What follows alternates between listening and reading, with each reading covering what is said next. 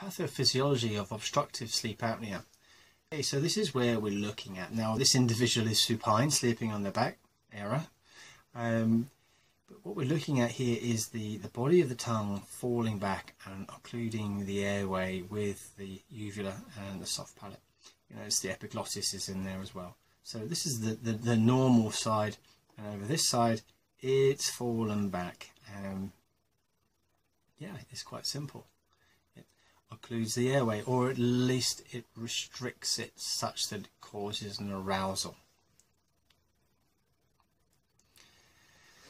Now this is quite an archaic thing and it's subjective and error prone, but in essence, can you see past the uvula? So it's very subjective, but sort of inter-individual um, situation. But class 1, class 2, class 3, class 4, as you can see across the scale. So class 1, yep, you can see past it.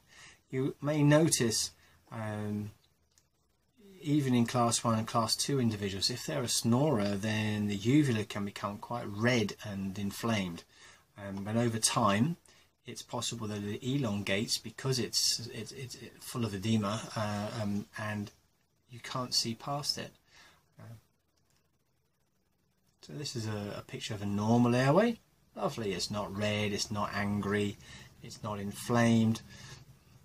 And you can, as I say, you can see past the uvula. This is a good example of an obstructive airway. We have um, an elongated uvula.